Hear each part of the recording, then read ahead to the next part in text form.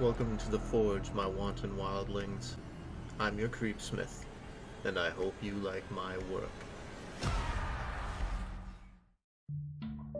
Have you ever seen one of those couples who just seem too perfect together? Ever catch yourself wishing ill of them in reaction to your own jealousy? Or is that just me? When seeing people like this, it often fails to occur to us that maybe, just maybe, that effusive bond that they share is due to weathering their own curses, surviving their own trials. Remember that during tonight's Halloween prequel, The Third of Three Hollows. Of course, titled Hollow. Author unknown. And yes, b- before you tell me, Lady McCreepsta did it better. I know. She was beautiful. She and I would sit with my laptop for hours on end looking for the scariest things we could find. It was an odd relationship, but it worked. Something just clicked when I was with her.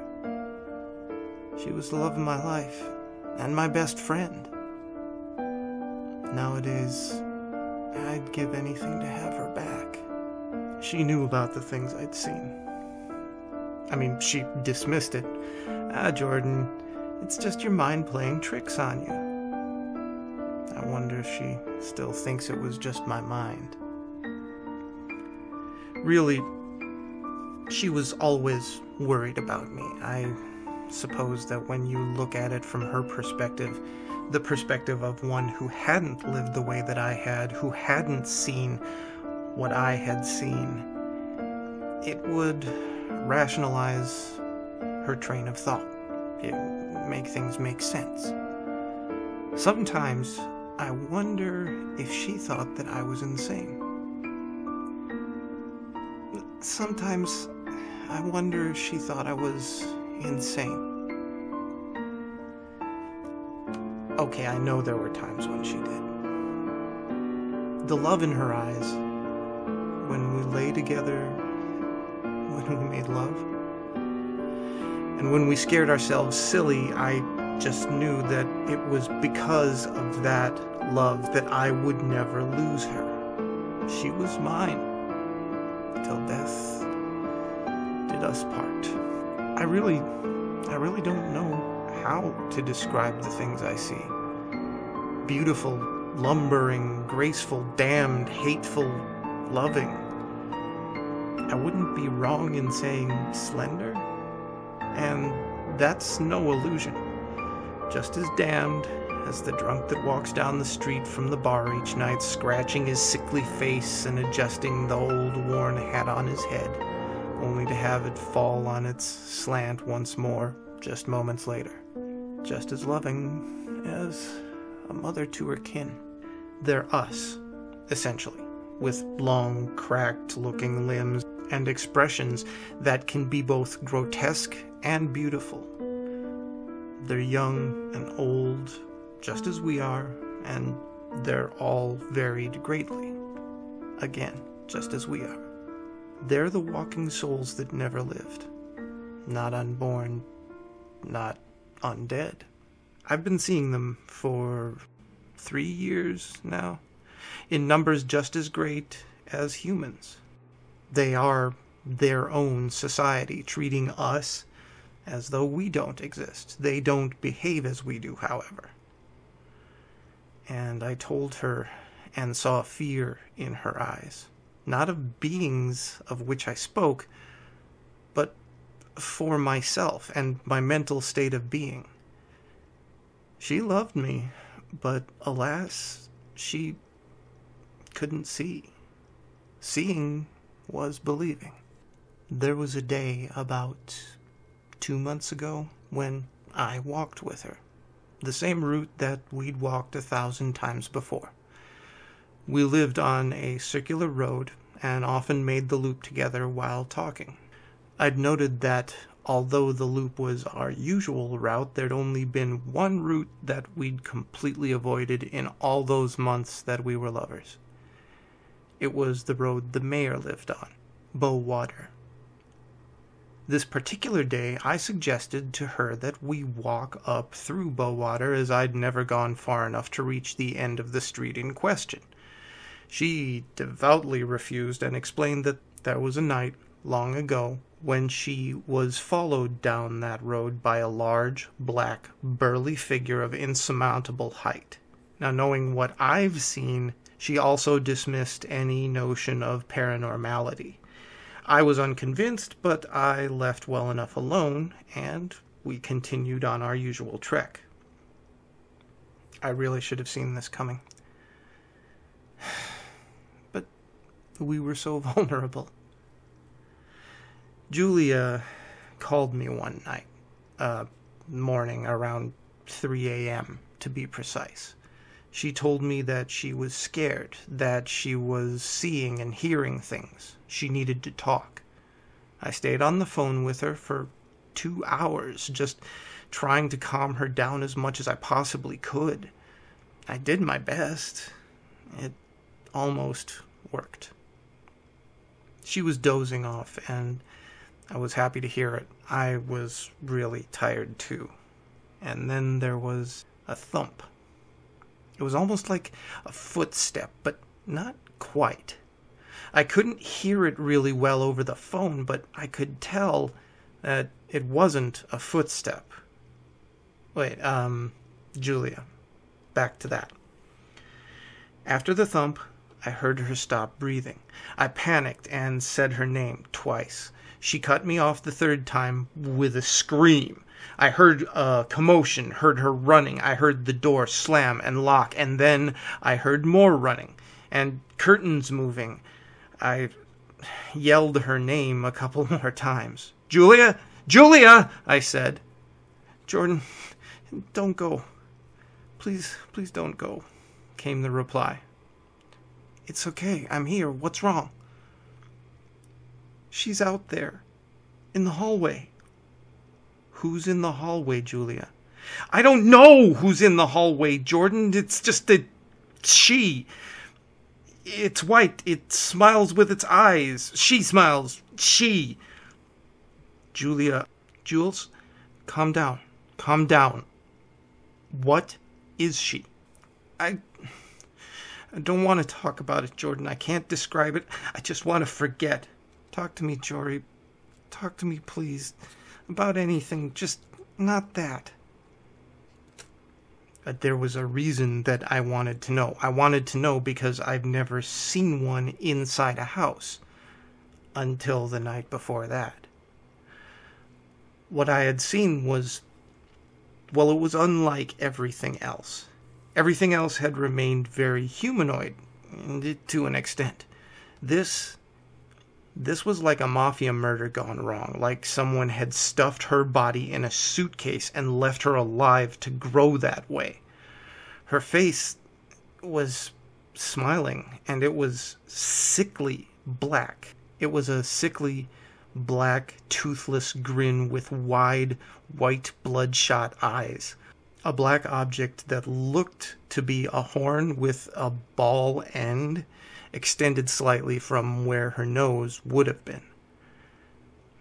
What sickened me was that her face was hanging. I mean, literally hanging from this ball ended horn. It was like a child's Halloween mask. The gap between her face and her head was held together loosely by blood soaked skin stretched to purple like tiny little slimy rope ligaments. Her face uh, wriggled and spun loosely, hanging by the ball end and ligaments marking small squelching noises when she moved. Her arms stretched under her legs and bent with four joints to each limb, behind legs of some sort. It was like some kind of sick, disfigured child was trying to play leapfrog. Her legs were relatively normal, although I couldn't see them well under the pure white dress that she wore. The last defining feature of this thing were three grotesque humps protruding from her back. It was on my porch. I had gone to use the washroom and decided to turn the kitchen light on so that I could find the bathroom light switch. Our bathroom connects to the kitchen for some reason. I turned on the light and there was nothing. I went to the bathroom, finished what I had to do, and then walked to the porch to turn the kitchen light off. I was greeted by the sight of that thing as I entered the porch. It looked up, its head lolled sickly to the side, and it smiled at me. At that point, I was used to seeing things, but this creature sickened me so badly. I, I, felt that instead of hitting the switch and making a run for my bedroom, I'd have to say the hell with it and run to the toilet to puke. I followed through with the former and kept my bedroom door locked for the rest of the night. I did eventually manage to sleep, but it was light and restless. So now I was sure that Julia was seeing exactly what I had the night before. I couldn't pressure her about it, however, or I'd scare her even more. I tried to talk gently to her and to calm her down, Soon sleep was unavoidable, and she drifted, allowing me to finally sleep myself. The days went by, and Julia now refused to go near Bowater Road. There was also a new path that she was staying clear of, a trail that we'd always used to use to cut through the park. She was hiding something, and I resolved to find out what. Soon after, I spent most days with her. The sweet summer air was a welcome change from the rain that we'd been experiencing. For the last week, I tried to ask her about that night, but she wouldn't talk about it. She just wouldn't say a word about it. We walked, and soon we went to my place. She wasn't so excited about our scary hour anymore, so we just cuddled I swear to God, there was never a moment that day that I doubted she was the love of my life. We went our separate ways that night, parting with a long, lingering kiss. it was a, another reminder of our promise to one another. I told her to tell me if anything happened, and that I'd be over in a second if she needed me. She did, after all, only live across the street. That night, um, she didn't say much online. I tried to elicit some conversation, but I was met with a bunch of nondescript oohs, ahs, and cools. Around 1:30 a.m., she went offline. At 2 a.m., I got a text and sighed with relief on seeing that it was her. The content of the text, however, set my stomach to unrest once more. I'm going for a walk. Sorry. I looked out the window to her house and saw not a single light on, not even her bedroom. I noticed her front door open and she walked, or at least stumbled out, cloaked in her long pink jacket that was far too large to be wearing on a semi cool summer night. I couldn't see her face very well. I tossed some shoes on and ran outside just in time to see her nearly disappear on the loop of Circular Road. I walked fast, keeping my distance and keeping quiet. When she stopped, I got scared. She was standing in front of the trail, the one that she'd avoided so heavily. She stood there for a good five minutes, and I almost moved to go with her before noticing that she was no longer alone. One of the things walked out of the trail. This one was different as well, but nowhere near as grotesque as the one that I'd seen before. This one wore a wooden mask. I. It was what I would have called a plague doctor mask. The long nose of the thing descended to its chest, and it was otherwise cloaked in black. A long, skinny arm reached out of the cloak towards Julia, and she reached toward it, holding something in her hand. No. No, no, it wasn't a hand that she held outwards. It was a foot. My heart stopped. I knew. I just knew. I had never bothered to question the way that she walked as though drunken. I never even bothered to look at her feet or her hands. I looked down, and sure enough, there were two hands with spindly, long fingers stretched over the road in the street light's midst. My heart stopped and broke at the same time, for I knew that the face that I looked at was that of my beloved, my Julia. I yelled. I yelled with so much force and anger that the plague doctor himself flinched. Julia turned and I got my first clear look at her face.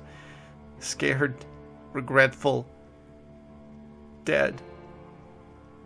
The plague doctor walked up behind her, grabbing the jacket from the front as if hugging her, and tore it open.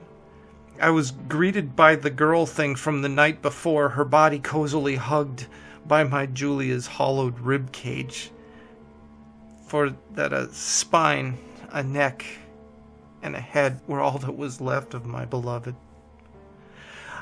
I cried. I cried out to myself and to the things that killed her. I cried with rage and heartbreak loudly and angrily, and I began to run. I ran at them, glaring at that detached face and waiting for its stupid fucking grin to fade. I glared, waiting for the satisfaction I'd get, seeing the fear in its bloodshot eyes before I bashed its fucking skull in. It just smiled, wider now. I made it under the streetlight, merely ten feet away from the thing, sickeningly cradled by Julia's body, when I was grabbed. I spun around to see nothing but when I looked to my side, there was a bony blue hand holding on to my shoulder. I looked up, and there was another one of them. It was hanging from the streetlight, a noose tightened around its neck. Its face was blue and old, like the rest of it, and it was smiling. Unlike the girl thing, this being had no eyes. Rather, it had a crazy, wise glint in its empty sockets. Its feet were suspended three feet above my head, but its arms were disgustingly long, long enough to grab me. I tried to run, to continue towards the killer, but those fragile looking limbs held me tightly in place. I looked up again and cursed the stupid fucking thing for keeping me from killing the killer It merely smiled a smile that would have looked encouraging on a normal old man, and for the first time I heard the voice of one of them. It spoke as it smiled, in an old man's soft voice. It spoke but one word before tossing me a good five feet back. I landed on my side, and a sharp pain shot through my body, temporarily paralyzing me. Then I got up and they were gone. All that was left was the hollow body of my beloved on the ground staring up at me sadly. And I ran. By God, I ran. I ran home. I ran home, snuck inside, and went straight to my room. I soberly reflected on everything that Julia and I had ever done I looked back on all of it and smiled. That morning, I awoke with the firm belief that my beloved was alive and it was all a bad dream. I phoned her to let her know how much I loved her and how thankful I was that I'd met her in the first place. Her father picked up. He told me that her body had been found two hours ago by the park trail. I hung up and proceeded to break down. It's been a month since she died, and I still think of what the hanged creature told me that night. Just one word Samhain. See, when the little kidlets say trick or treat, one wonders how much we've forgotten down the years. I really hate the marketing industry some days. So stay scary, wildlings. Remember, it doesn't hurt to brush up on your history or your mythology and make the most of your nights.